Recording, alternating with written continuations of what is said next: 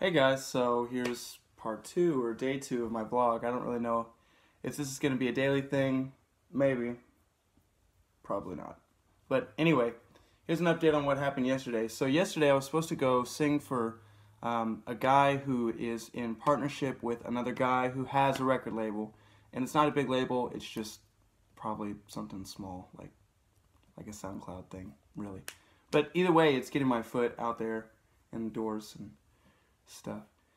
Anyway, uh, I didn't get to do it because the guy actually had to go to the hospital because he had an asthma attack.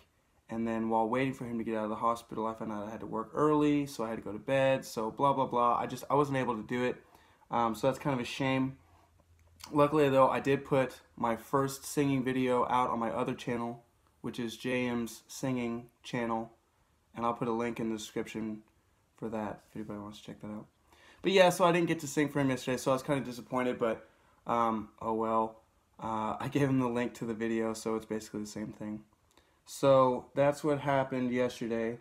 Today has been totally uneventful. Uh, it's really bad weather. I mean, it's not bad. It's just like cloudy and crappy and just it's it's muggy and it just look, just look. Yeah. Ugh. Gross.